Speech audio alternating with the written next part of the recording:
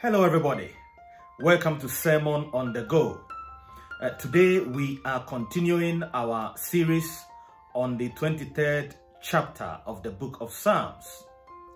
As I explained last week, throughout the Bible, the people of God have been described as sheep. And I gave you a few characteristics of sheep. Sheep are slow to learn, they are demanding, they are stubborn, they always want to have it their way. Sheep easily gets lost. They are unpredictable and they are dependent. So with that in mind, let's dive into today's message. I'm going to start from verses 1 and then we move on to verse 2. Psalm 23 verses 1 and 2. The Lord is my shepherd, I shall not want. He makes me lie down in green pastures, and he leads me beside still waters. This is the word of the Lord. Thanks be to God. And my dear friends, as sheep, we are always seeking for greener pastures because sheep are demanding and as human beings, we are very demanding and therefore we are always looking for greener pastures in order to be fed. God, our shepherd, knows the greener pastures and quiet waters, which restores our souls. When we follow God, our shepherd, trust in his ability to provide for us, and follow him obediently, then we will reach the place of green pastures and still waters. Rebelling against God, our shepherd, is actually rebelling against our own best interest.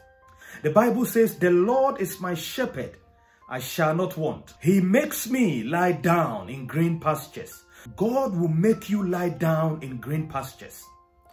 God will take you to a place that you will be provided for. God will open opportunities for you. He will lead you into all the places that you can be productive and you will be fed and you will be provided for. He makes you lie down in green pastures and he leads you beside still waters. Guess what? After a good meal, you want a dessert, don't you? Therefore, when God makes you lie down in green pastures, after you have been fed and you are full, then he will lead you beside still waters. He will lead you into waters that are not troubled, so you can have a fresh water for your sustenance.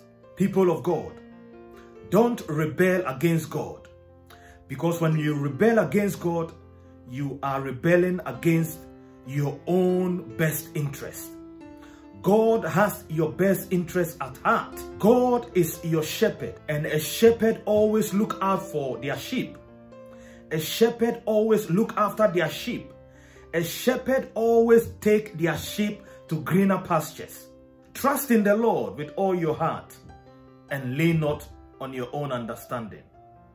Come to God, the Father of the universe, the creator of heaven and earth, the shepherd of Israel, and he will provide everything that you need to survive as a human being. Let me pray for you before I leave you. Heavenly Father, I thank you for today's message and I pray for all who are under the sound of my voice. I pray that you will bless them, you will provide for them, help them to recall all the good things that you have provided for them. And I pray that they will have a good festive season. Help all to enjoy this Christmas like never before. In the name of our Lord Jesus Christ. Amen. My dear friend, I shall see you on Thursday. Shalom. Peace.